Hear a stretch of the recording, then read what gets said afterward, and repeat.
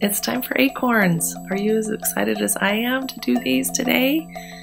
I hope you got everything traced out and you're ready to go. I want to say sorry for the wobbly camera here at the beginning. I think one of my kids must have knocked it as they walked by while I was doing this tutorial, but it will work itself out. So just let's just paint and um, hopefully the wobbling will stop soon. okay, so we are starting with our middle acorn and I'm just using burnt sienna and filling that in using a number six brush.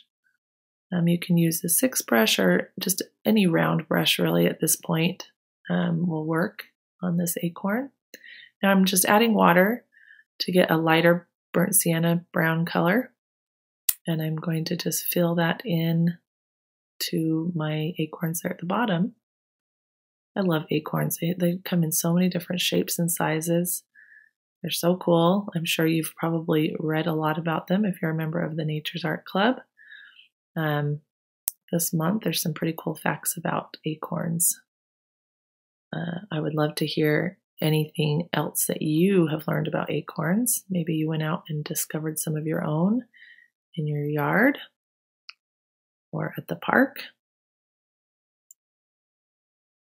Okay, then we're just going to fill in the top part of this and then we're going to the very top of our picture with these beautiful little acorns. Now these ones, I'm just doing the top with the brown and then I'm going to bring in some of our sap green and I'm just going to get those colored in with the green, just a nice light color of green there mostly water.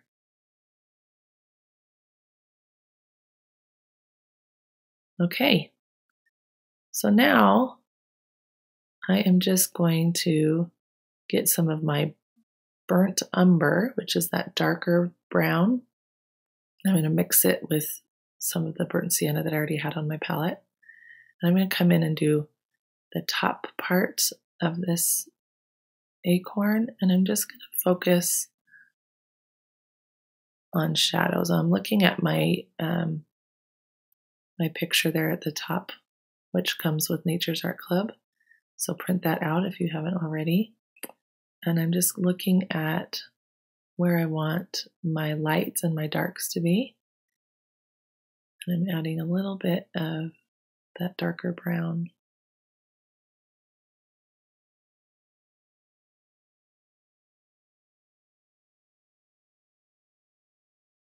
doing the same on my acorns there at the bottom. Just kind of blocking in where my dark darker browns are going to be.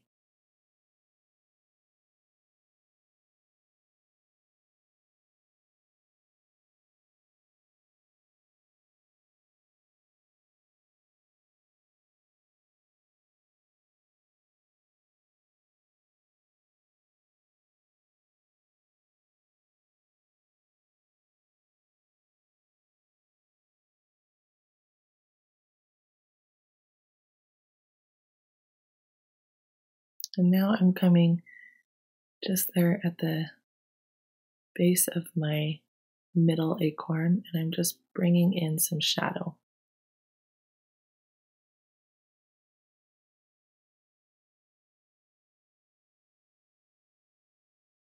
I decided I want the middle part to be lighter, so I'm just adding water there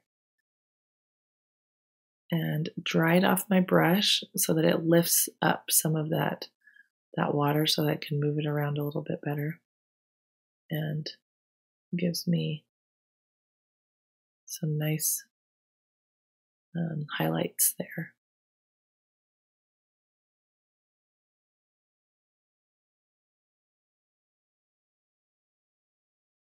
Okay, and then I'm going to bring in some more, some darker areas there at the bottom. And then same thing at the top here, just bringing in some shadow, some darker browns. So what I'm doing right now is called layering. So I'm just doing a little layer upon layer, excuse me, of um, of browns, and I'll just go darker and darker in some areas and then just leave some areas alone. Um, those areas that I want to stay lighter will be, I'll just leave those alone. Okay, going in with some more of that burnt umber and burnt sienna mix. And now I'm going to add some shadows to my long acorns there at the bottom.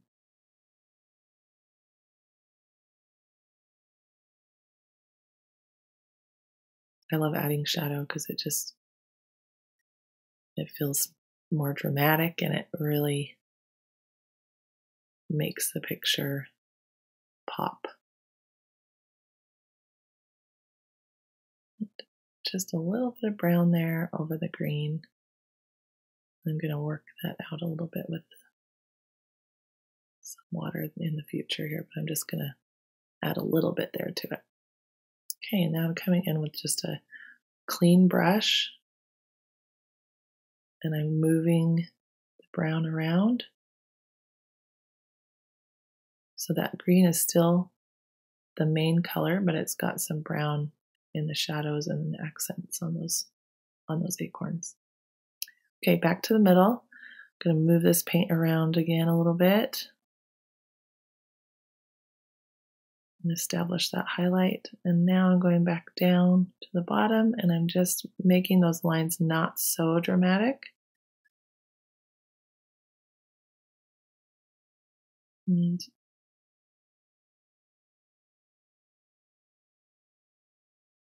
just making them subtle.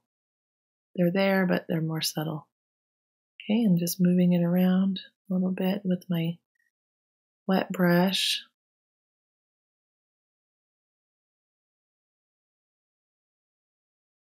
And now I'm just doing pure burnt umber to establish my shadows on those darker areas.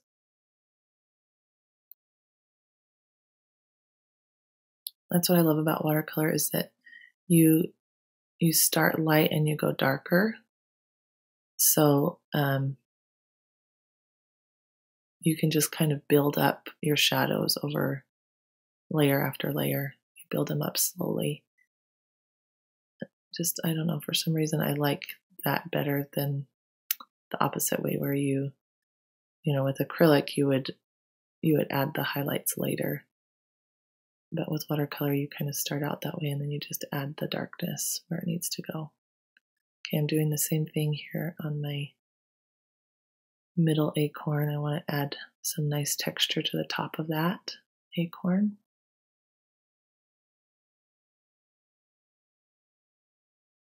So I'm just kind of putting little dots of color throughout and then coming in and establishing those shadows another layer of the burnt umber.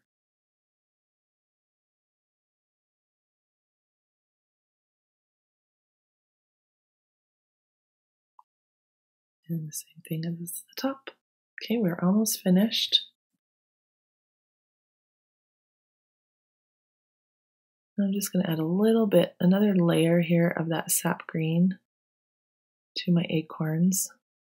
Just gives it a little more depth of color.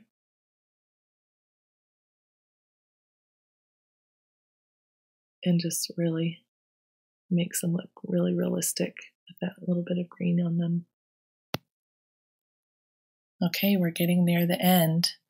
I'm just adding a little bit more detail here and then we're done with the painting. We can move on to outlining, which is what I'm doing here.